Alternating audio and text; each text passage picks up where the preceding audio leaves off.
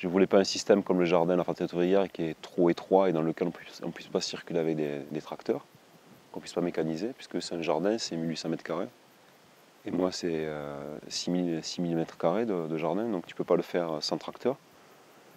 Et du coup, euh, comme je savais euh, que les mecs en arboriculture, ils conduisaient euh, les arbres sur Danifion, j'avais vu ça en regardant ce qu'ils faisaient, en les écoutant, quoi, en axe, et que je voyais que la couronne de ces arbres, en fait, prenait relativement pas plus de 2 mètres, une fois que l'arbre est adulte, sur des hauteurs de 3,50 m, 4 mètres maximum, quoi.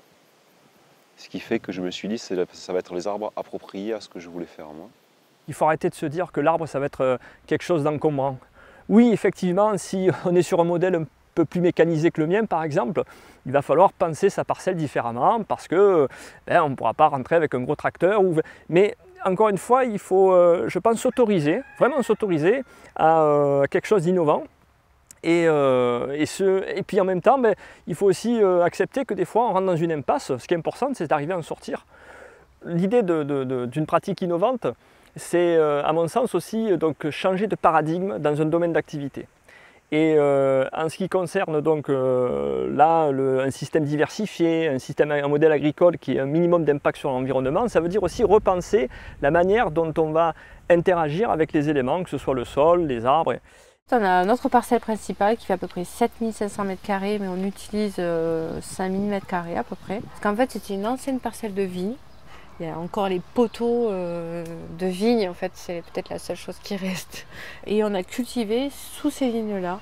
En fait, on a fait des buts permanentes sous les anciennes vignes. On a arraché les vignes, on coupait des fois, et on a fait nos cultures. Euh. J'ai commencé donc par un jardin mandala, les premières plantations à l'origine mais en termes bah, de, surface et de temps de récolte, c'est pas, pas ce qu'il y a de plus pratique. Donc je le, maintenant, je le dédie aux aromatiques, le jardin mandala. Par exemple, une douzaine de cerisiers, euh, quatre sont précoces, quatre sont semi-précoces et quatre sont tardifs. Euh, ils ne sont pas au même endroit sur la ligne ou sur, euh, sur la parcelle. mais on les a mis, ces quatre sujets-là sont côte à côte pour la gestion de, de la récolte, de la taille, etc. etc. On diversifie beaucoup nos pratiques aussi agricoles, on diversifie nos modes de commercialisation, on diversifie nos cultures. Donc on est très diversifié. Mais tout ça, si on se diversifie trop, ben après on n'est pas assez bon dans chaque chose. Et du coup, euh, l'idée c'est de euh, rationaliser pour euh, simplifier un petit peu le travail, quoi, tout simplement. Il y a une haie dans son ensemble qui va être gérer avec une seule essence parce qu'il va y avoir des traitements spécifiques, euh, des éliciteurs ou des traitements spécifiques euh, pour, pour ces arbres-là. Et c'est mieux de, de pouvoir les, les, gérer tous en même temps à un seul endroit, quoi. plutôt que d'avoir à marcher sur le terrain pour aller repérer où c'est qu'on avait mis tel arbre et tel arbre. On aurait pu mettre les plantes médicinales et les petits fruits contre la haie, mais on a préféré euh, espacer un petit peu tout ça pour avoir un confort de travail. Améliorer, oui, au niveau de, la desserte, euh, faire un peu plus de desserte pour avoir moins transbahuté de choses, même si là la desserte elle est vraiment optimisée je trouve.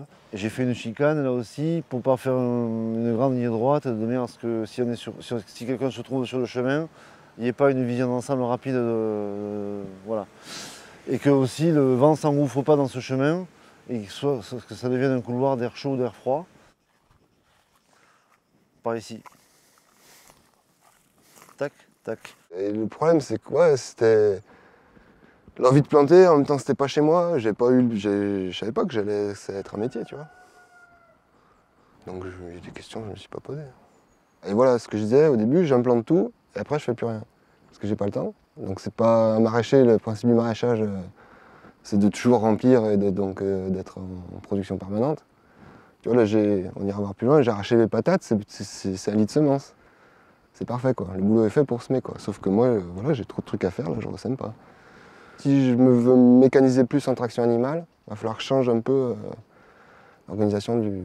Parce que là, il y a vraiment à chaque fois une ligne. Des fois, il y a deux lignes côte à côte de la même chose. Mais il faudrait que je bosse par planche. Et après, euh, ça vire tout en même temps pour mes rotations, c'est plus simple. Quoi. Là, je suis coincé pour, euh, tu vois, là, je sors un rang de patates, Là, c'est trop étroit pour y passer à la machine. Donc si je veux mettre quelque chose, c'est forcément tout manuel. Soit tu pars sur euh, un travail à la main, euh, plutôt jardinier, soit sur euh, un travail mécanique. Et donc là, tu le réfléchis différemment. Par exemple, sur un jardin en, ligne droite, comme ça, en traction, je mettrais des haies entre chaque jardin, mais avec un espace plus important, comme ici, là, tu vois. Vraiment avoir de l'espace entre les légumes et les... pour pouvoir circuler avec les chevaux, sans les abîmer, et travailler le sol sans les abîmer. Je referai cette association-là, je la ferai en ligne droite, mais je la, je la referai, ouais. Pas en ligne forcément droite, mais en, ligne parallèle. En permaculture, en fait, quand on conçoit le système agricole, on fait un zonage. Du coup, euh, la zone 1, c'est la zone euh, que, tu, que, tu- que tu fréquentes tous les jours. Donc, euh, dès que tu sors de chez toi, qui est la zone 0, euh, tu, tu- là où tu vas tous les jours, c'est la zone 1. Et euh, donc, comme moi, je pars de chez moi et je vais au jardin, le trajet qui va jusqu'au jardin, qui est ma zone 1 aussi, euh, le jardin, euh, c'est zone 1. Et ce trajet-là, je le prends tous les jours, plusieurs fois par jour. Donc sur ce trajet-là, il fallait que ce soit productif. Et donc je mets sur ce trajet le maximum de choses. Donc il y a les toilettes, parce que c'est hyper pratique. Il y a le poulailler, parce que comme ça tu vois tes poules, tu leur ouvres, tu leur donnes à boire, à manger, tu ramasses les œufs. Il y a la pépinière, comme ça tu peux gérer tes plants, les arrosages, ouvrir, fermer la serre, euh, voilà. En remontant, puisque de toute façon on va remonter, on passe par le poulailler, on balance des choux aux, poules, comme ça elles ont de la verdure à manger. Et on ne le fait pas exprès, on, fait, on profite du trajet pour euh, passer par les poules. En 2008, quand je suis arrivée euh, sur ce terrain, les oliviers étaient déjà présents. Donc je me suis adaptée au, lieu et j'ai commencé à faire un petit potager euh, entre les arbres. J'ai redressé les arbres, c'est-à-dire j'ai- surélevé un peu la, hauteur des, branches parce qu'ils descendaient très très bas.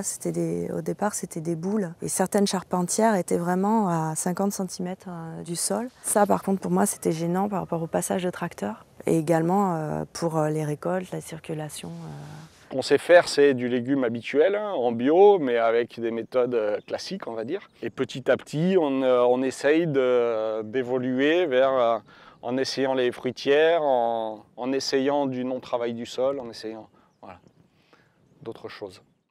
On faisait euh, une culture sur 120 mètres de long jusqu'à présent. Et là, on a changé cette année, on a divisé en trois. Du coup, on fait des petites parcelles. euh, ça fait 3 mètres sur euh, 10 mètres carrés. 10 mètres carrés. quoi. Peut-être que là, manuellement, là, on va arriver à gérer. Quoi.